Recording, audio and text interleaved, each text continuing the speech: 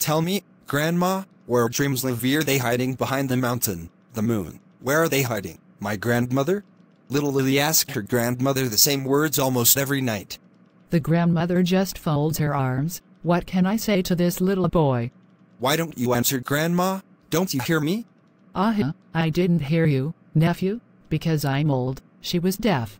I see dreams in colors as they are in reality houses, flowers, cats, and others.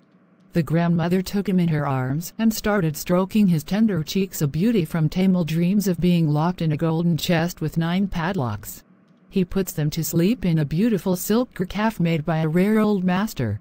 It rarely happens that a dream comes out of a crack and is taught to children who sleep during the day. Who saw this beauty with the florin chest? asked Lily curiously, taking a deep breath. Ah, as if he caught the urge with his wet lips. Where can I find it? Good people in this area mention that. Those passing by have only seen her as a shadow, my Lily. The beauty keeps the beautiful dreams of the children and throws them into the bad valley without water. Rare are the passers-by who pass over the bad valley without water. The water from their howling is afraid to be released down so as not to get dirty. The grandmother investigated that Lily's eyelids began to line up and two pairs of eyelashes came together. Maybe you dream of the golden chest with the beauty of Tamil.